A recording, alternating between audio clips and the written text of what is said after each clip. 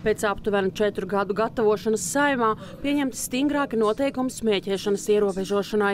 Turpmāk nevis no 18, bet no 20 gadu vecuma drīkstēs iegādāties un lietot dažādus smēķēšanas produktus.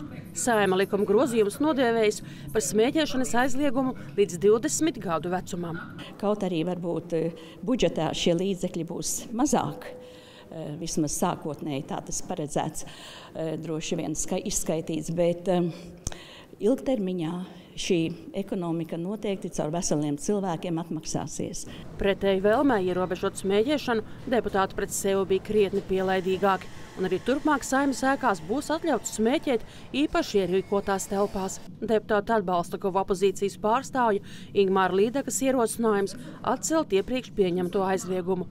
Šis arī bija vienīgais priekšlikums, kas raisīja deputātu debatas. Pie īpaši niknām bitēm tomēr jāņem līdzi ir nomierināšanai dūmu kanna.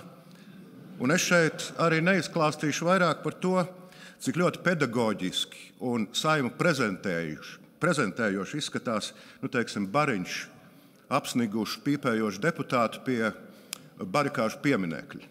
Mēs ar Līdekas kungu esam pazīstami jau kādu laiku no studiju gadiem, dzīvojot vienās Latvijas universitātes kopmītnēs.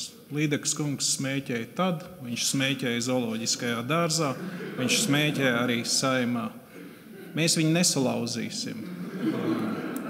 Es šodien nobalsošu par to, lai jūs nesmēķētu ārā sniegā, lietu un augstumā. Tā kā, tā kā dariet, ko gribat eh, ar savu veselību, bet es vienkārši tīri cilvēciski negribu ceļš, ka sievietes ārā smēķē. Mēs paši atļaujamies darīt to, ko mēs citiem aizliedzam. Nu, šī ir tāda divkosība. Līdaks kungam es piedāvāju rīt no rīta uzskriet krosiņu ar maniem kopā. Nopildieties āliņģī, ko es nedaru, ko viena daļa dara Un es ceru, ka mēs jūs vedīsim uz gaismu, tie, tos, kas pīpē. Mēs jūsu plaušas līdz mūža beigām dabūsim tīras, mīļie draugi.